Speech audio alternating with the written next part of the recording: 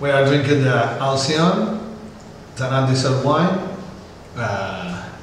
well, this wine I started to produce this wine in 2004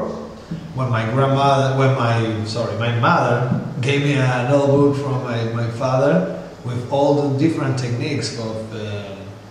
Italian dessert wines like Marsala, Barolo Chinato,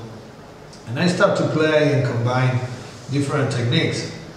and, and create this this wine with part of the of the Marsala techniques and the in Barolo Chinato. This is a, is a lovely wine with a lot of caramel, chocolate, vanilla flavors, and cherry, and, people really really love this wine to pair with with a special, really special dessert.